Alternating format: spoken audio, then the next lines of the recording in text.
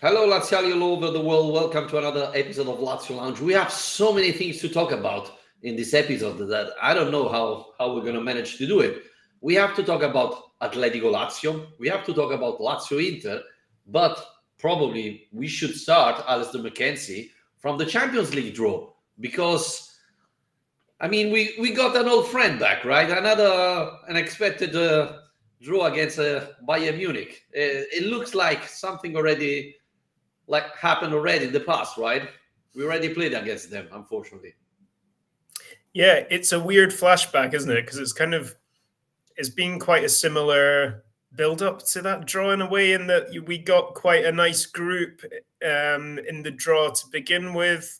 We managed to finish second and get some good results, but on the other side, Bayern look like a team that is, you know, one of the real front runners to win the whole competition. Was that the year they beat PSG in the final? The year we played them? I can't remember if it was that season or. or they not, won the tournament that year. Yeah, I thought so, and I, I feel like they they could maybe this year as well. So I mean, it's it's certainly one of the harder draws we got. I mean, maybe with the exception of Man City, who although themselves are having some problems, but I don't know. Do you agree? It's one of the toughest draws we possibly could have had. Yeah, probably I would have put Real Madrid and Manchester City as the best, even though Manchester City is not playing great and Real Madrid had a couple of bad injuries. Uh, it's true that Bayern Munich now is not playing great, but we'll playing them in February. So you know, in two months' time, they they could be back in top form. So that's that's the most scary part. They have a striker who looks like he's scoring a couple of goals, right? So the Mario Mario Gila versus Harry Kane uh, matchup is going to be interesting. Do you think Mario Gila is going to play? I mean, Romagnoli is going to be back once. I hope. Mario Gila will probably be sold for 80 million euros to Saudi Arabia in January, so probably not. But uh, no, I mean, I, I, was looking at them and I've been kind of following them, you know, from from afar a little bit this season. But I was looking at their uh, results again earlier to remind myself of their season so far. And it's really weird because they've generally been pretty dominant, but then they've had these crazy moments where they they got knocked out of the cup by some team nobody's heard of from the lower leagues. They got smashed by uh, Eintracht Frankfurt. Um, that was a week ago, I think. Um, but yeah, they've they've had a few kind of weird, you know, blackout results but then the rest of the time, they seemed to beat everybody. And obviously, they completely dominated what looked like a fairly tough group with Galatasaray, Man United, Co Copenhagen. But then at the end of that, Copenhagen managed to get a draw in Munich. So um, there are clearly some weak spots there, even if they're still a really, really strong team most of the time. There's been enough results this season where you're kind of like, uh, occasionally they do take their eye off the ball. But over two legs, it's going to be very difficult. Yeah, yeah. Uh, the date is out. Lazio Bayern Munich will be the 14th of February. And Valentine's Day. Yeah, yeah. I think a lot of couples will, will struggle for that game. oh God, I didn't realize that. yeah, I will have to find an excuse with my wife as well, or maybe bring her to to the stadium. Like you know, yeah. this is our San Valentine. And then the the return match is 5th of March. We're playing home the 14th of February and then away the 5th of, 5th of March. So a long time. Let's hope that Lazio get back in a good shape. We we get some injury players back, but you know, as we were mentioning, it's probably only Manchester City, Real Madrid would have been worse than that.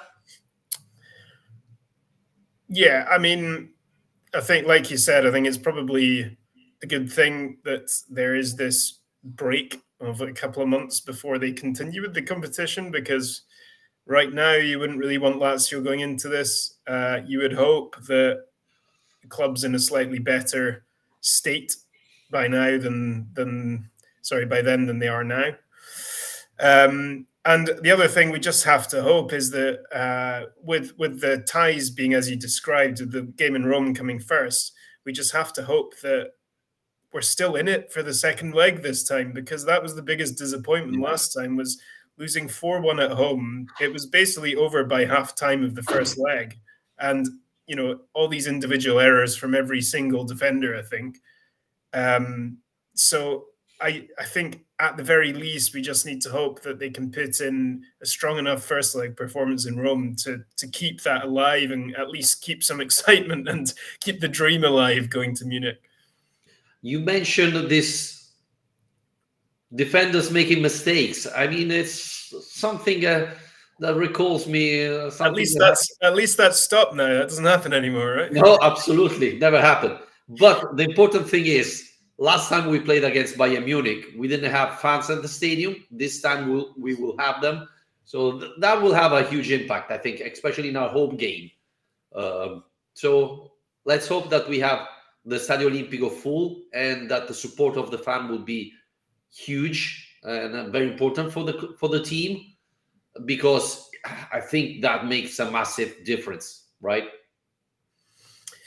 Yeah, I mean, this this is a disappointment really because when you're looking at that draw um, earlier on, there aren't really. I mean, I know you said maybe you, Bayern Munich are you would rank them behind Real and and City, but you look at that draw and there aren't really any soft teams apart from Sociedad um, to, to, to that you can hope to get, and that is the difference between finishing first and second and it was a big disappointment. I know we're a few days late, so we don't need to go into it in huge depth, but the performance in Madrid against Atletico felt like the performance of a team that was playing a dead rubber rather than that was playing for first place because there was a lot, as we can now tell. You know, that's the difference between drawing Bayern Munich or drawing someone else.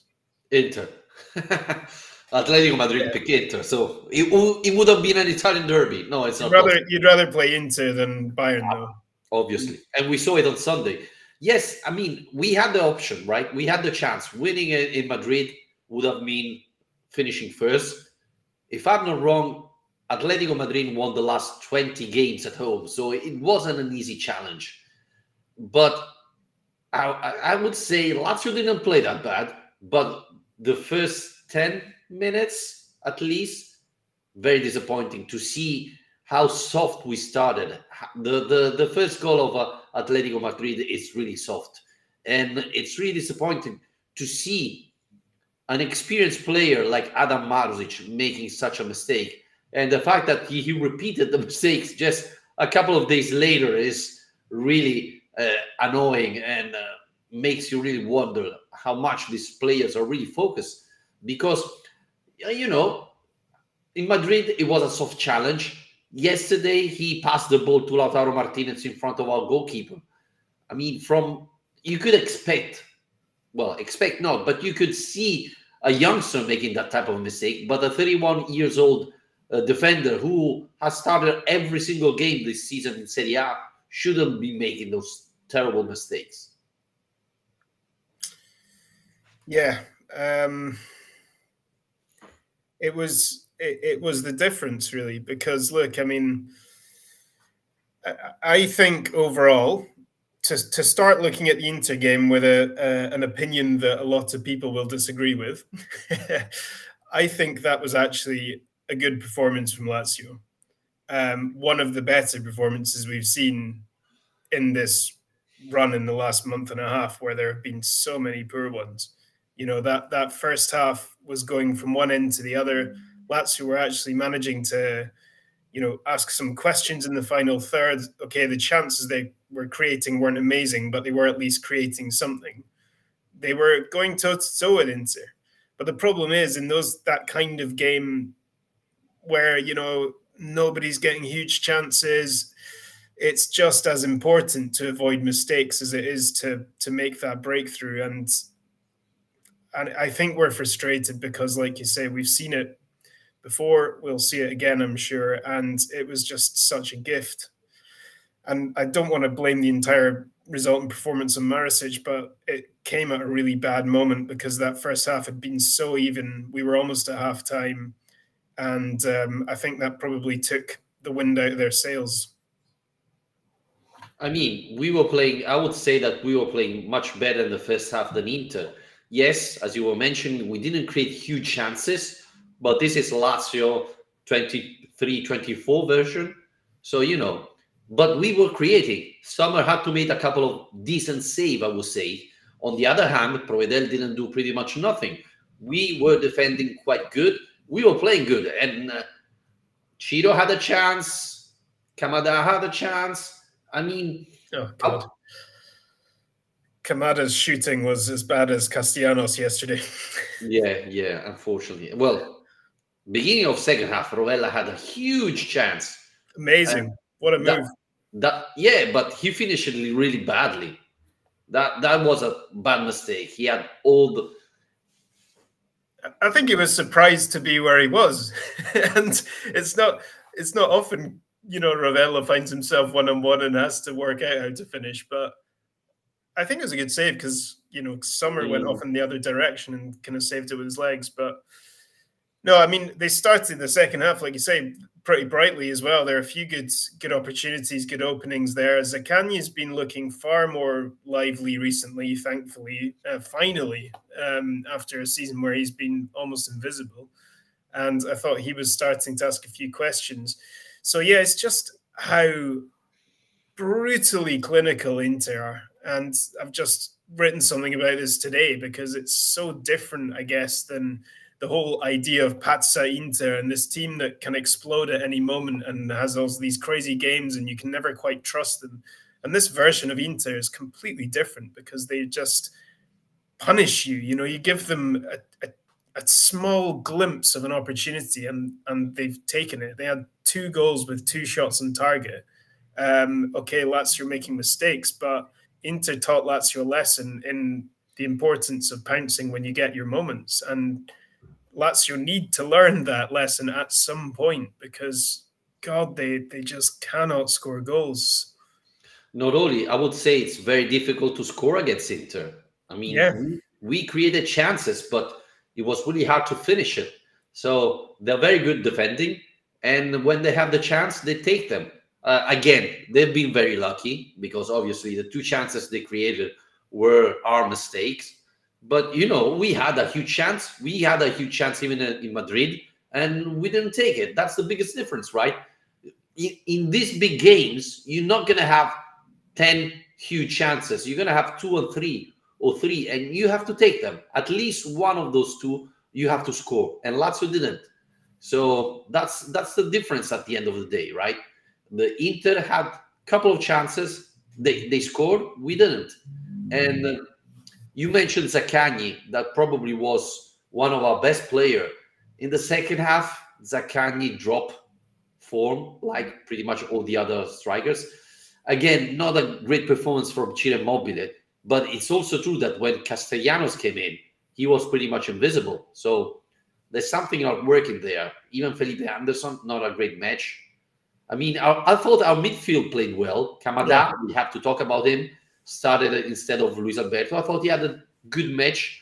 And I was surprised to see him sub uh, when he was still playing at, the, at a decent level. Yeah. Um, I mean, I, I, think everyone was surprised to see him start in the first place. Um, and, you know, I think all things considered together, you have to you have to think about that. This wasn't just uh, a Lazio side in bad form playing an Inter side on the opposite, you know, 15 games unbeaten now. This was a Lazio team that's playing what's now become their third and fourth choice centre backs and has lost its most influential midfielder.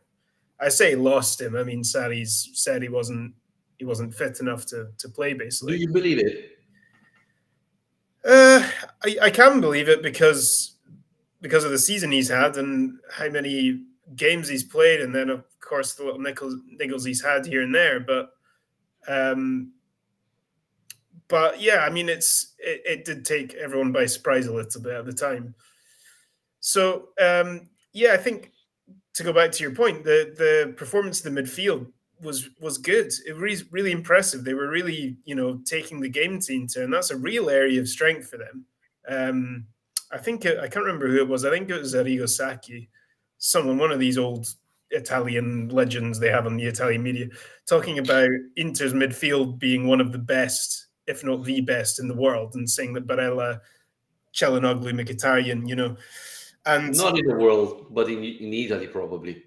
Definitely in Italy, but not in Europe. I think there's uh, that was the argument they were trying to make. Um, but yeah, I mean, considering who they were up against, I thought that trio did really well, and the possession was very balanced. Um, number of passes, all those things. I mean, statistically, you look at the end of the game, and I I posted a picture of this last night on Twitter because they had all the stats laid out, and it looked like a draw because everything was even. Um, but obviously, that was the difference. It was just Inter's sharpness versus Lazio's yeah. complete bluntness. you have to remember that Lazio finished one man down, and after the second goal, the game was over. So the stats were a little bit different because the last 25 minutes, Lazio pretty much disappeared. So yeah. this tells you that before the second goal, Lazio was playing better than, than Inter. And again, we didn't talk about Guendouzi, but I think he's having a a good season. I mean, not a full season, but this this start of the season is quite good from Guendouzi. Uh, he's picking up. He's becoming more a leader. Uh, I thought yesterday he was pretty much everywhere, so that definitely helped Kamada. And again, I thought Kamada uh, was the right decision. Inter has a very physical midfield, and Kamada is able to give a hand in defense, even to help a little bit Rovella. So again, I think Luis Alberto was playing badly in the last month or so, and I thought Sarri made the right decision. Uh, the problem is we we have to start scoring goals. Our strikers need to step up. Also, our midfield needs to contribute a little bit more uh, because, I mean, if you don't score, it's going to be very difficult to score to win games.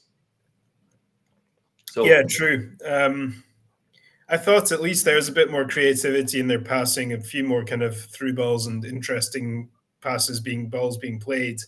Because um, even that has been a rarity at times this season. But you're right, as the the goals from midfield have been lacking, and Kamada had two or three, you know, opportunities to at least test the keeper from the edge of the box, and just completely lacked composure.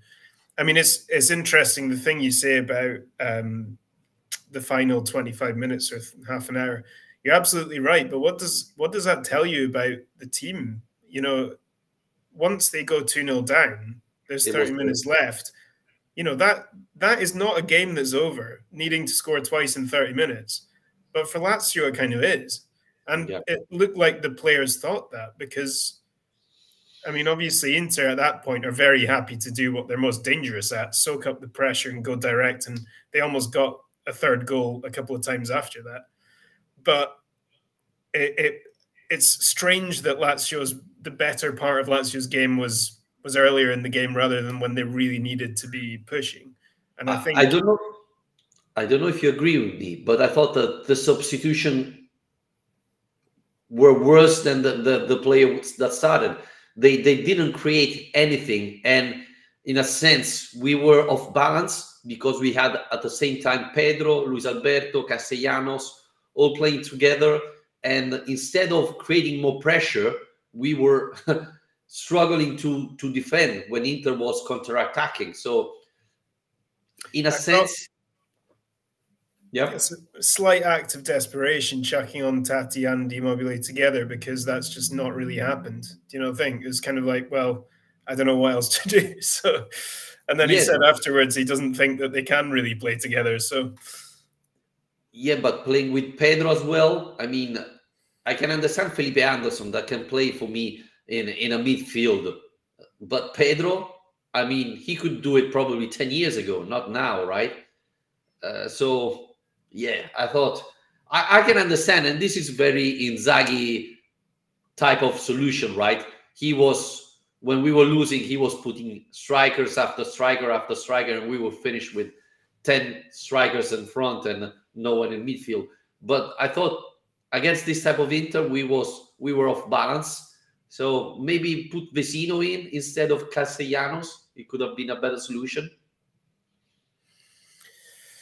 Yeah, possibly. Um, I just think, uh, yeah, I just think there was a lack of belief, and uh, uh, you yeah. can understand why because the club is scoring so few goals this season that how how could they think? You know, Inter have conceded seven in in sixteen games now, which is a hell of a record. I think that was their fourth uh, clean sheet in a row. So why why would Lazio's players think at 2 0 down, we're going to come back into this? Come on, big 30 minutes. I mean, it's it, they should be as as professionals kind of having that mentality, but it's quite difficult to really believe that having had the the kind of six or seven weeks that they've just had. Uh, it, it, was sad in a way because the the club was celebrating the late goal of Caicedo against Cagliari. I think it was the day before, a couple of years ago, and uh, that team would never give up. Right, that team would fight. We were losing to one at the the, the last minute of the game, right? And we won 3 2 in extra time, scoring twice in extra time. So it's not impossible. And that team never gave up. This team, first goal they concede is the game is over. The game is over. They don't believe it. And this is the thing that drive me crazy. Uh, don't get me wrong. I think Inter is the best team in Italy. I think scoring against Inter is quite complicated, but Bologna did it, right? Sassuolo won against them. So it's not impossible to do it. If you give up, it's over. Yeah. Um, well, still, I would still contend, like I said at the start, that that is a better Lazio performance. Yeah. Than what we've seen, and I do actually. I mean, I will get on in a second to Sarri and all the stuff that he's been saying and what's been going on there. But I, one thing I did agree with was when he said after the game that the the boos and whistles were about what's come before and not about tonight. Because I think that okay, you never want to be losing games at home, and it's been a while actually since Lazio have lost at home in Serie A, and uh, I think considering how good Inter have been, and that everyone more or less acknowledges that they're another level from the rest of the league this year, that was not a bad effort for this side and um, they were just punished by by you know lapses of attention. But you know, there's a lot going on there, Vitor. I mean, I don't know where we want to start with this stuff, but actually, we were both there last night, but you were in the thick of it with the fans. So why don't you tell me what it was like when, at the end of the game, everyone's booing the players, everyone's unhappy. Was it like that the whole match? Was that just at the end? What was the atmosphere like? Well, it was funny because we started booing Acerbi and then we finished booing our players. So that wasn't great. Well, you know, uh, I have to say that I'm surrounded by people complaining about every single player. I think if Mbappe would play for Lazio, they will still find a way to criticize him. So, uh, yeah, second half, everybody was very disappointed. Uh, the problem is, I thought Lazio played great played well, but the mistake Marusic made was embarrassing. I don't know what you thought. I thought he should have been sub at the end of the first half. And seeing coming back was very disappointing for me, for the fans, and seeing that they gave up after the second goal again was really annoying. Um, to be honest, I didn't hear the, the fans booing Sarri I thought they were booing the players most of all. All the substitution yeah. player was booed, and you know Felipe Anderson was sub, not a great match, etc. Um, and, and, I agree with Sarri. I thought Lazio played well. Obviously, against Inter, it's not enough, but I thought it was much better performance compared to the Salernitana one, to the Cagliari one. So you can see sign of uh, encouraging, but you know the player, the, the fans want to win and don't accept losing with such bad mistakes, most of all. Yeah, and I think the boos because there were a lot, and I think that that was like Sarri said more about the general season that's been happening rather than the game. But but the um, you know the backdrop of this, is probably worth explaining for anyone who's who's kind of missed it, but is is Sarri's comments last week where he essentially complained about the fans having uh, too high expectations and the the atmosphere around Lazio being devastating and you know, I'm paraphrasing a bit here because I don't have it all in front of me, but it, it was a, a strange, um, a, a, quite a strange press conference, and resulted in the world's longest banner at the game last night. It was almost a kind of, you know, Derby style choreography with the the Curva Nord's banner responding to Sarri saying, again, I've not got all in front of me, but essentially it was like expectations come from your, you know, heritage, not from the past, but from your what your expectations are based on the future and your history and traditions and all this. And anyone who doesn't understand that, get out of Lazio. And uh, what do you make of all this? Well, three things. The first one, the fans were already collecting the money for the for the eventual derby in the Coppa Italia. So the second one is Sarri didn't mention the fans, and he said, "I'm not talking about the fans." He was talking more about the journalists around Lazio that are creating this too high expectation that they know Lazio won't be able to achieve. And so they create this atmosphere of permanent delusion around the club and uh, obviously influence the fans, right? I mean, if I read on the newspaper that Lazio should finish second every single time and we finish fifth, then obviously I'm not happy and I'm gonna uh, complain about that. So he he didn't have he wasn't against the fans that honestly always supported the club. Uh, but obviously, this didn't impact well. Obviously, the journalists made it look like he was against the fans, and the fans answered back. Um, again, the club, the, the, the, the, achievement the club can make, it, unfortunately now depends on the owner, on the money the owner is willing to spend. So uh, you could be, I don't know, Real Madrid, but have the money of Lotito. You won't be able to win the Champions League. You won't be able even to compete for the Champions League. So this is the thing that fans have to understand.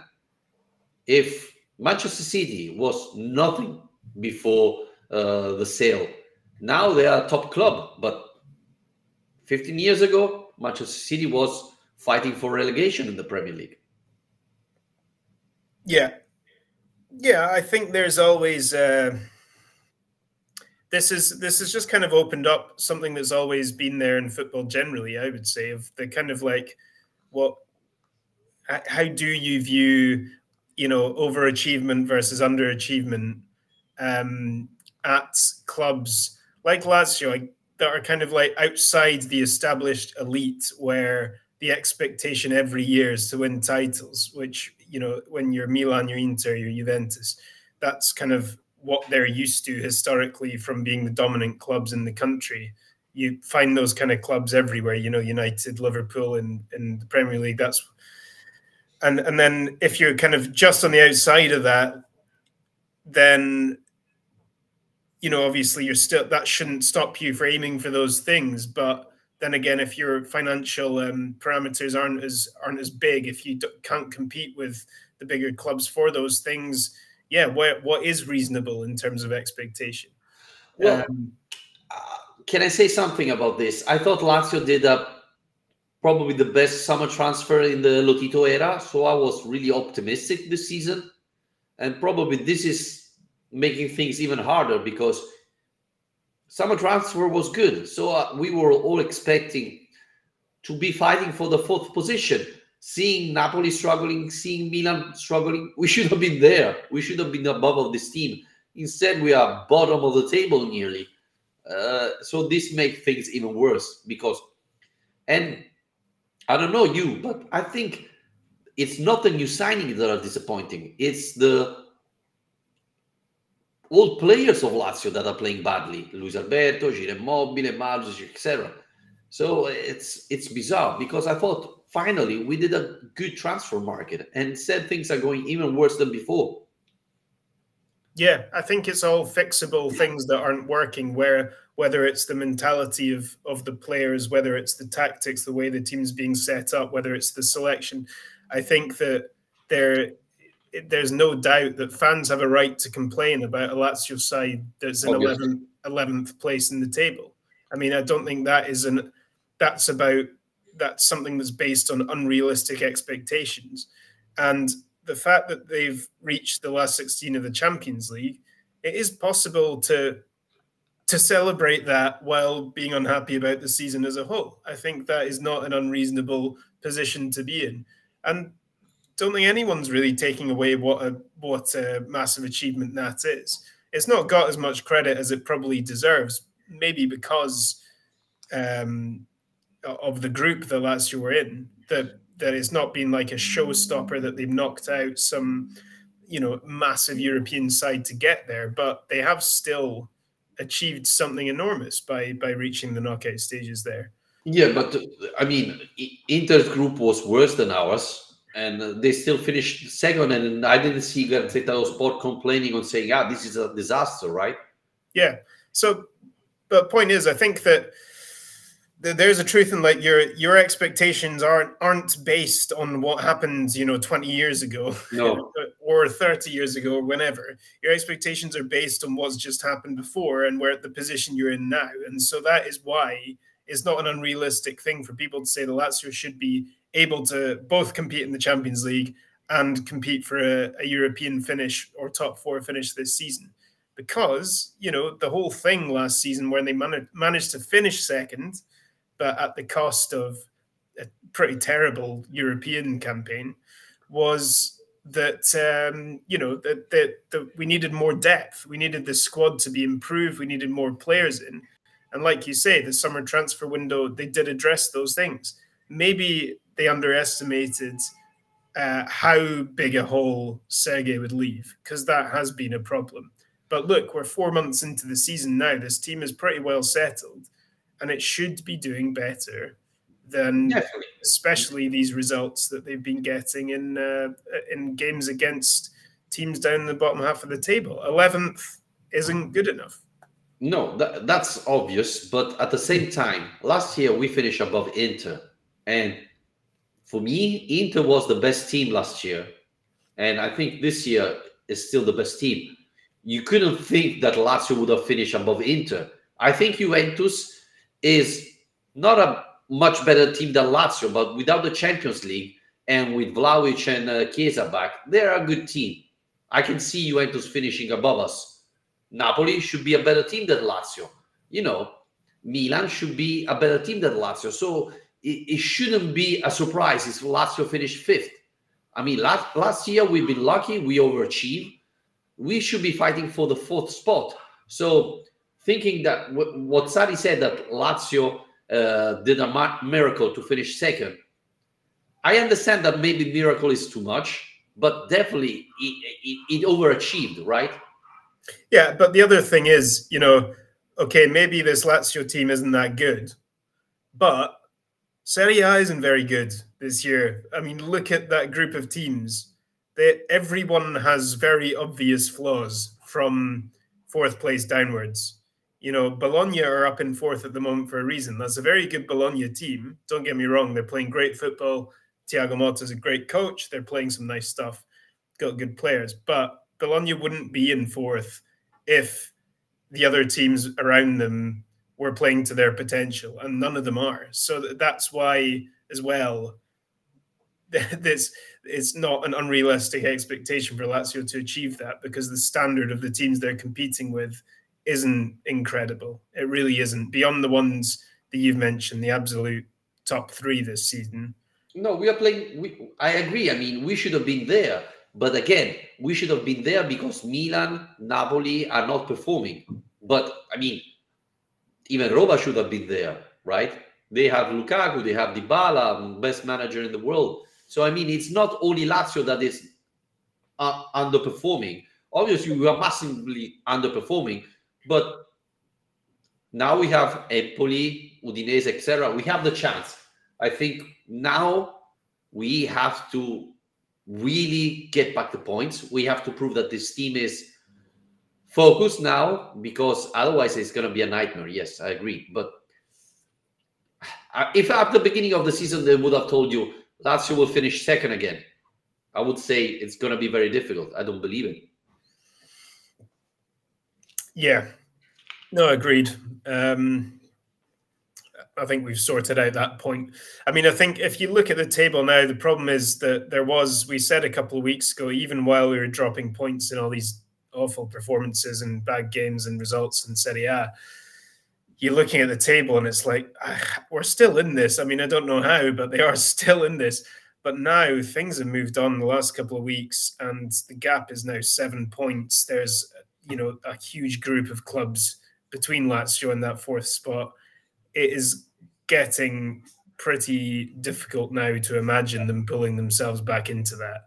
Um, well, I don't know what it's going to take. If it's going to take a change of change of ways in terms of the, how we set this side up, if it's going to take January signings to try and bring a bit of life into it, I I don't know. I think that's why everyone's so frustrated right now because it feels like we have been trying a few different things throughout the season and just nothing is kind of bringing it to life. It's true that last year in January, end of December, the, the teams stepped up and start stacking wins. And now we have a huge chance. I mean, if you want to keep the dream alive, you have to stack wins now. You have Empoli, Frosinone, Udinese, Lecce, Torino. Torino is tough because it's away, but come on, Empoli, Frosinone, Udinese, Lazio, uh, Lecce, you have to win those.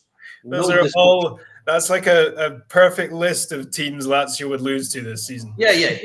I mean, we are talking about win, but you know that Cancellieri is going to score on Friday and we're going to lose 1 0. Frosinone, it's a derby. They're going to do, you know, the best game of the season. Udinese, I'm not even talking about it. You know, Lecce is going to be a nightmare. Uh, Torino, Cairo is going to pay extra money to everybody to to win against Lazio. So on paper, this should be the the the the, the games Lazio will need to win. Unfortunately, we lost against Salernitana, right? The only the only game they won, Salernitana, was against us. So you know. That's what I was going to say. We've said this before. I remember after the November international break, I was just trying to look up there what the run was, but it was, yeah, it was kind we, of uh, Salernitana, Cagliari, Verona that run, and we got. Uh, one point. No, four points. No, three, four, four three points out of nine from three games you really should be with. So, and that Cagliari win even was was yeah. not great. So, no. yeah, I mean, there there there has to be yeah there there has to be something to to kind of make, make people change their mind about this Lazio team because um yeah, yeah at the moment the atmosphere isn't the, the problem is they don't believe it, right? It's the players that don't trust themselves. So, anyway, let's hope that we finished Christmas uh, in a nice mood with a Friday game against Empoli. Again, Friday. Not that much time to recover, but I mean, if we don't start winning Friday, then I think all our dreams are over. I don't think even even the Europe League will be very hard to achieve, right? You're right. You're definitely right about Cancellieri. He's going to look like Mbappe on Friday. No, absolutely no doubt. Goal and assist. I'm going to buy you at the fantasy football just for the game. yeah. Well, here's hoping. Um, but yeah, I mean, look, it's it's it was. I still think good performance against Inter and, and something to build on there. But it's about yeah replicating that level against and that, and that approach and that mentality against smaller teams and especially in away games. You know, that's been such a such a problem. Yeah.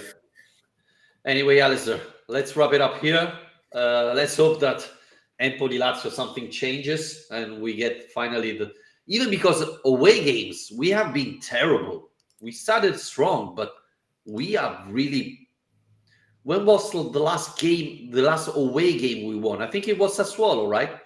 21st of October. we are end of December. Wow, two months without an away win.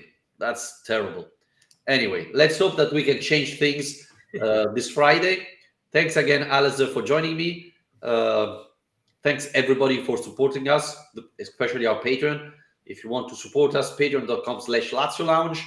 And uh, we'll be back, hopefully, after Empoli, Sassuolo, Empoli Lazio. Bye, Alasdair. Cheers.